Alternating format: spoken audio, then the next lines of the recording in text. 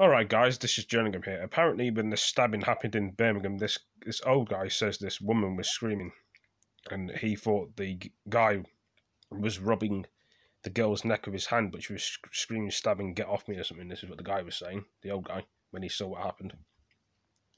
She's screaming, he's stabbing me, but everybody thought, uh, because everybody thought he was robbing uh, her necklace or something, you know? But I've seen it. And I said, I started screaming, and then he walked, he didn't even run, he just kind of walked out of the footpath, outside sidewalk, from sidewalk, he came on the, on the street, in the middle of the street, and he started running, and then he was chased by sidewalk, the manager of sidewalk, and an Asian guy as well. It was a girl, and after we saw a guy as well a bit further up, he was, the guy was bleeding all over.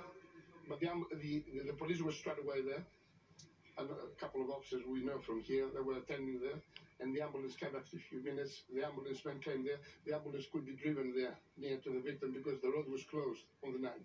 But the guy looked. Uh, uh, looked at you know he was he wasn't concerned he wasn't worried he wasn't panicking or anything he was just walking you know after he stabbed the girl he basically walked but most people didn't think uh, didn't they thought you know it was just a robbery you know somebody robbed somebody you know they, didn't realize it was a thing then I screamed you know the girl was stabbed so apparently that the, this guy saw what was going on with the girl getting stabbed uh, by this other guy on the ground or something in Birmingham when it was happening. So that's a bit to the video I've just shown and uh, gives you some kind of rough idea what's happened. I know it's very saddening news, guys and girls. And, uh, you know, these actions could have been prevented if the police would have been there in time. But saying that, the police don't know what's going on. Nobody does. This this is probably just that happened as a random attack where you don't know.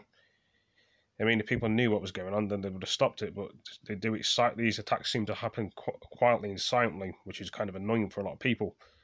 But anyway, thanks for joining me, and uh, so catch you in the next video, guys and girls. Peace.